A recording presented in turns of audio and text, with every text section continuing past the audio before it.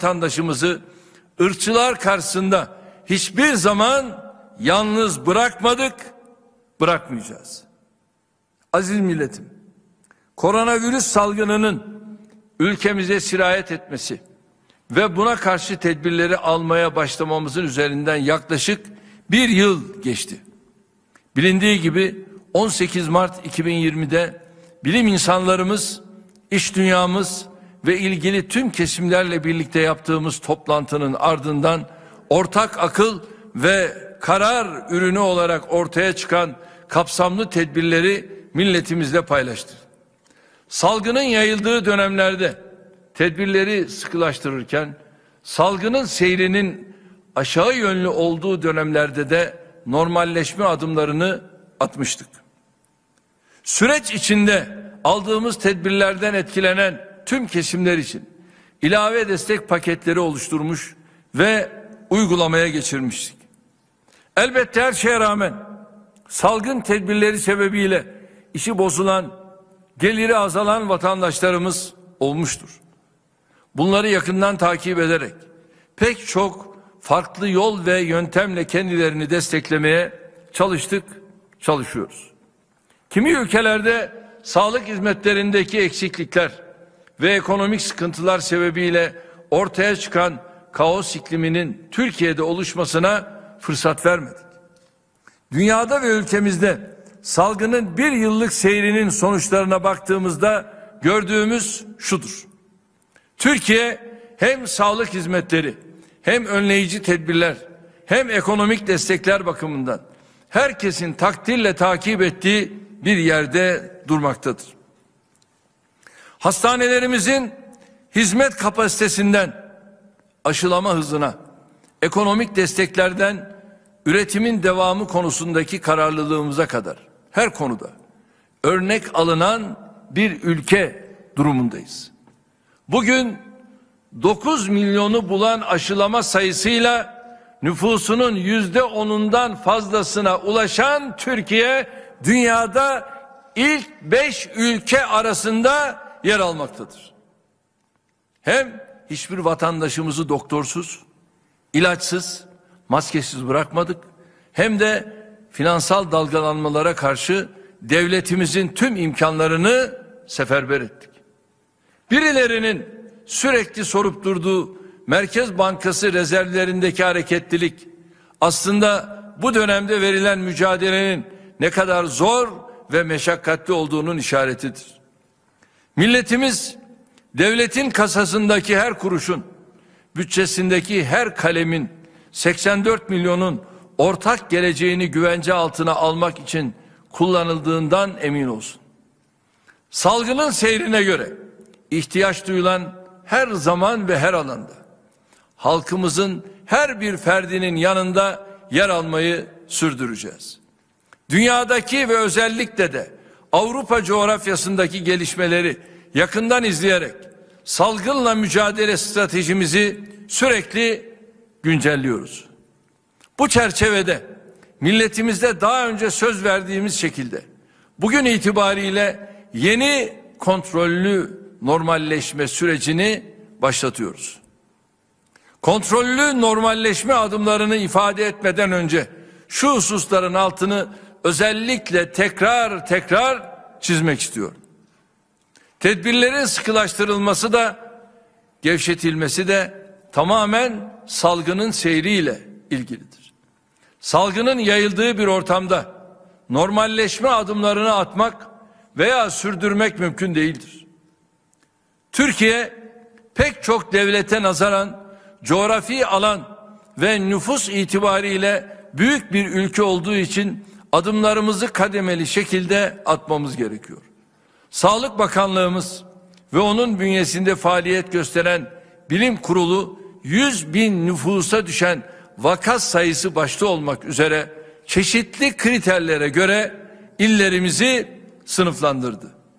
Bu değerlendirmeye göre de 81 vilayetimiz düşük riskli mavi, orta riskli sarı, yüksek riskli turuncu ve çok yüksek riskli kırmızı olarak renklere ayrıldı. Her hafta risk durumuna göre illerimizin renkleri yeniden tespit edilecek. Ayrıca her iki haftada bir de normalleşme uygulaması güncellenecek. Valiliklerimiz başkanlığındaki il hıfzı sağ kurullarımız bu güncellemeye göre uygulamayı gözden geçirecek ve yeni düzenlemelere gidecektir. Tedbirlerin sıkılaştırılması veya gevşetilmesi kararı salgının her bir ilimizdeki iyileşme veya kötüleşme durumuna göre verilecek. Her anında temizlik, maske ve mesafe diye özetlediğimiz salgın tedbirlerine ne kadar riayet ederlerse illerinin normalleşmeye o kadar hızlı geçebilmesini sağlayacaklar. Aksi bir durumda yani salgın artış eğilimine girdiği yerlerde kısıtlamalar tekrar genişletilebilecek. Bir başka ifadeyle her ilimiz salgın tedbirlerinin orada ne düzeyde uygulanacağını kendisi belirleyecek. Bugünkü kabine toplantımızda normalleşme adımlarının prensipte nasıl atılacağı hususunu kapsamlı şekilde görüştük. Buna göre hafta sonu sokağa çıkma kısıtlaması düşük ve orta riskli illerde tamamen kalkarken yüksek ve çok yüksek riskli illerde bir müddet daha pazar günü devam edecek. Ülkemizin tamamında süren akşam 21 ile sabah 5 arasındaki sokağa çıkma sınırlaması ise sürecek. Okullar Türkiye genelindeki tüm okul öncesi eğitim kurumlarında ilkokullarda 8. ve 12. sınıflarda eğitim öğretime açılacaktır. Düşük ve orta riskli illerde ilaveten ortaokullar ve liseler dahil diğer kademelerde de eğitim öğretime başlanacaktır. Yüksek ve çok yüksek riskli illerimizde ise genel uygulamanın dışında sadece liselerdeki yüz yüze sınavlar yapılacaktır. Restoran, lokanta, kafeterya, tatlıcı, pastane, kıraathane, çay bahçesi gibi yerler çok yüksek riskli iller dışında Türkiye genelinde faaliyetlerini sabah 7 ile akşam 19 saatleri arasında yüzde 50 kapasiteyle sürdürebileceklerdir. Halı saha, yüzme havuzu ve benzeri tesisler düşük ve orta riskli illerimizde sabah 9 ile akşam 19 arasında faaliyet gösterebileceklerdir. Kamunun çalışma saatleri tüm Türkiye'de normale döndürülecek. ihtiyaç halinde valilikler farklı düzenlemeler yapabilecektir.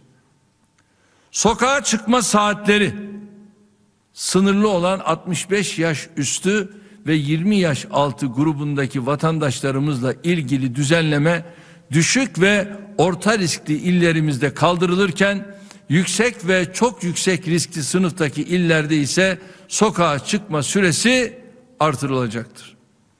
Nikah ve nikah merasimi şeklindeki düğünler düşük ve orta riskli illerimizde 100 kişiyi, yüksek ve çok riskli bölgelerde 50 kişiyi geçmemek ve bir saati aşmamak kaydıyla yapılabilecektir.